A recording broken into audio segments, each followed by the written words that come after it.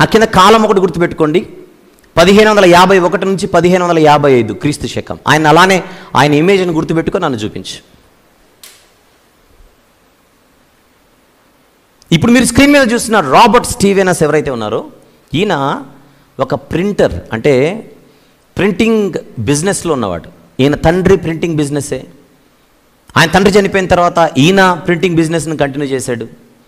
ఈయన పెళ్ళి చేసుకున్నటువంటి ఆ మహిళ ఎవరైతే ఉన్నారో వాళ్ళ నాన్నగారిది ప్రింటింగ్ ఫీల్డే ఓవరాల్గా ఈయన ప్రింటింగ్ ఫీల్డ్లో ఉన్నటువంటి వాడు. అట్ ద సేమ్ టైం బైబిల్పై ఎంతో మక్కువ కలిగిన వాడు. పదహారవ శతాబ్దపు వ్యక్తి.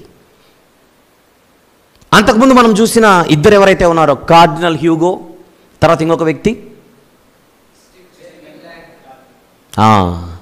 మరొక వ్యక్తిగా మనం చూసినటువంటి ల్యాంగ్టన్ వీళ్ళిద్దరూ కూడా ఫ్రెంచ్ దేశానికి సంబంధించిన వారు.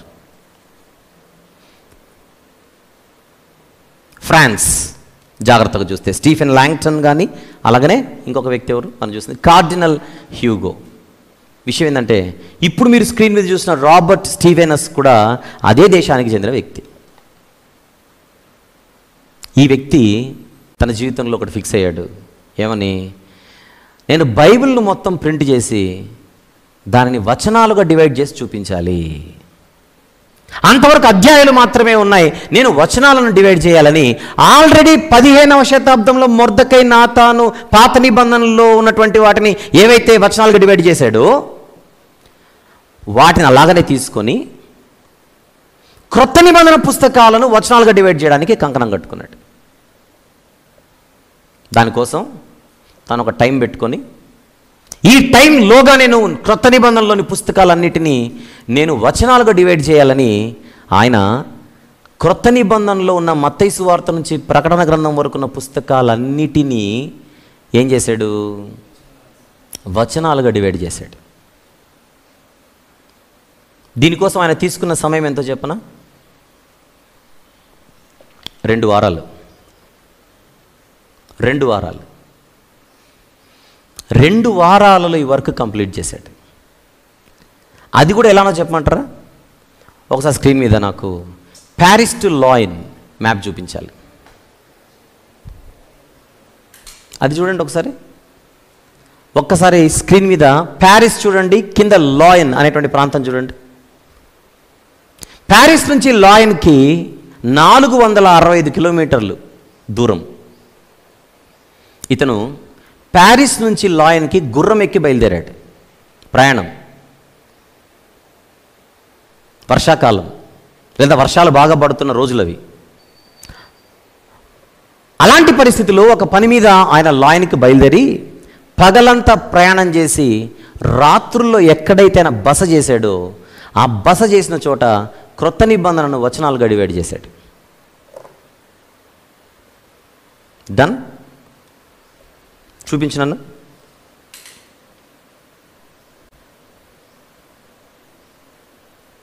చూస్తున్నారా? ఎన్ని కిలోమీటర్లు? నాలుగు వందల అరవై ఐదు కిలోమీటర్ల సుదీర్ఘ ప్రయాణాన్ని ఆయన పెట్టుకొని పగలంతా ప్రయాణం చేస్తూ ఒకవైపు వర్షం మరొక వైపు రాత్రుల్లో తను విడిది చేసిన చోట బస చేసిన చోట ఆయన క్రొత్త నిబంధన చదువుతూ దానిని వచనాలుగా డివైడ్ చేశాడు. ఇంకొక విషయం చెప్పమంటారా? ఆయన క్రొత్త నిబంధన పుస్తకాలు చదివేటప్పుడు మత్తయి సువార్త మార్కు సువార్త లూకా సువార్త యోహాన్ సువార్త తర్వాత ఇప్పుడు ఏ పుస్తకం ఉంది మనకు? అపోస్తల కార్యములు ఉంది.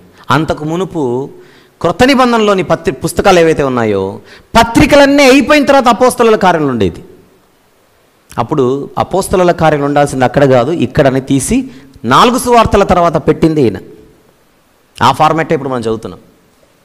ఈరోజు మనము క్రొత్త నిబంధనలు చదివే వచనాలన్నిటి డివిజన్ చేసినది స్క్రీన్ మీద మనం చూసిన రాబర్ట్ స్టీవెనస్ ఇంకొకసారి చూద్దాం. ఇప్పుడు మనం ఆయన వర్కే కదా మనం చదువుతుంది ఇప్పుడు. ఇంకొకసారి ఆయన చూద్దాం. చూపించి అగైన్ చూస్తారు ఒకసారి. ఈయనే. ఒకసారి నమస్కారం పెట్టండి చాలా అంతే. నమస్కారం వరకే. రైట్ డన్ చూపించక అంటే వాక్యంపై వీళ్ళకి ఎంత ఆసక్తి ఉంటే ఇంత వర్క్ చేస్తారో ఒకసారి ఆలోచించండి అంటున్నా అది పాయింట్ ఇది. నేను ఒక మాట అడుగుతాను చెప్పాలి. దేవుడు లోకమును ఎంతో ప్రేమించాను కాగా తన అద్వితీయ కుమారునిగా పుట్టిన వాని ఎందు విశ్వసించి ప్రతివాడు నశింపక నిత్యజీవం పొందినట్లు దేవుడు తన కుమారుని అనుగ్రహించాను. ఎక్కడుందో చెప్పండి నాకు? ఈ మాట ఎక్కడుందో చెప్పండి అంటున్నా. యోహాన్ సువార్త మూడో అధ్యాయము పదహారవ వచనం. తీద్దాం ఒకసారి. స్పీడ్గా తీద్దాం. యోహాను సువార్త మూడో అధ్యాయము పదహారో వచనం. స్పీడ్గా తీసారా వెంటనే తీసారా ఇంత స్పీడ్గా ఎలా తీయగలిగారు? మీకు అక్కడ అధ్యాయం కనపడుతుంది వచనం కనపడుతుంది కనుక. ఒక్కసారి ఊహించుకోండి అధ్యాయం లేదు వచనం లేదు. అధ్యాయం లేదు వచనం లేదు. పోనీ నేను ఒక వచనం చదువుతాను అది తీయండి ఇప్పుడు ఒకసారి. ఒక వచనం చదువుతాను.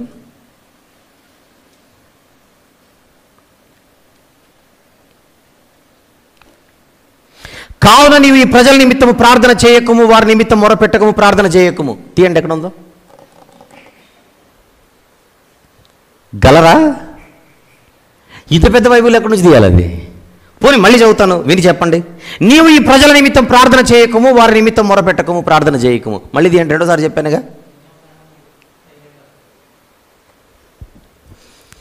విషయం ఏంటంటే నేను ఇంకొక నాలుగు సార్లు చెప్తే మీరు ముందు రెఫరెన్స్ చెప్పురా నాయన అంటారు మీరు అంతే. రెఫరెన్స్ చెబితే తీయగలరు. ఈజీగా చెప్పకపోతే ఎక్కడని తిప్పాలి? ఎందుకు చెప్పాను మాట? వీళ్ళు చేసిన వర్క్ దాని ఫలితం ఈరోజు మనం అనుభవిస్తున్నామా లేదా మీరు చెప్పండి అంటున్నది పాయింట్ ఎసర్ను సార్ నో వీళ్ళు చేసింది పెద్ద పనేనా? గొప్ప పనేనా? మనకు ఈరోజు వాక్యం నేర్చుకోవడానికి మాట్లాడుకోవడానికి వీళ్ళు సహాయం చేశారా లేదా చెప్పండి first of all next week వీళ్ళని నేను అతిథులుగా పిలుస్తున్నాను మన మీటింగ్స్కి మీరు లేచి నమస్కారం పెడతారా లేదా? వస్తే. చచ్చిపోయిన వాళ్ళు ఎట్లా వస్తారని మీరు అనుకుంటారేమో. ఊహించుకోండి అంతే వస్తే. అంటే మన గౌరవానికి వీళ్ళు పాత్రులు అని చెప్తున్నా అది పాయింట్ ఇప్పుడు ఒక మాట మనలో మాట. మనం కూడా దేవుని పని చేస్తున్నాం. మనం కూడా బైబిల్ చదువుతున్నాం.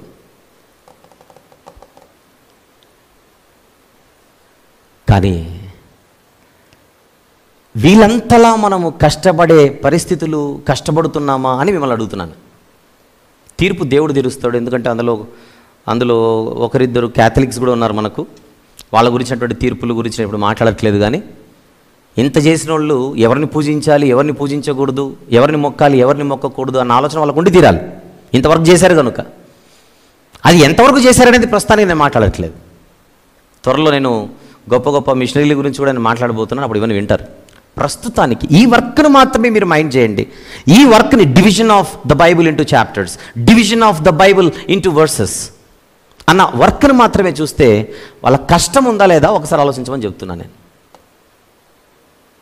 అలా ఎందరో మన వెనక చరిత్రలో గొప్ప గొప్ప చరిత్రకారులు దేవుని పనిలో ముందుకు నడిచారు.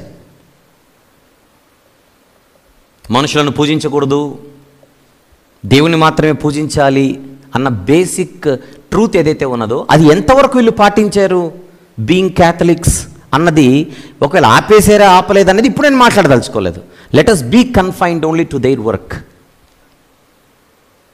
ఈ వర్క్కు మాత్రమే పరిమితం అయితే ఈ వర్క్కి మాత్రమే పరిమితం అయితే దే ఆర్ దే ఆర్ కంపల్సరీగా సూపర్ అనే చెప్పాలి.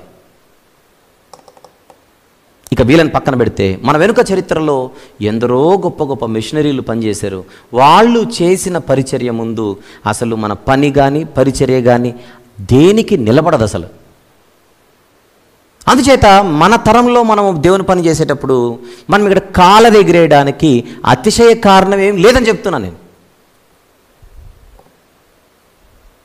ఎందరి కష్టము యొక్క ఫలాలను ఈరోజు మనం భుజిస్తున్నాం. భుజించేటోడు నేను ఇంత కష్టపడి భుజిస్తున్నానని బిల్డప్లు ఇస్తే ఎలా?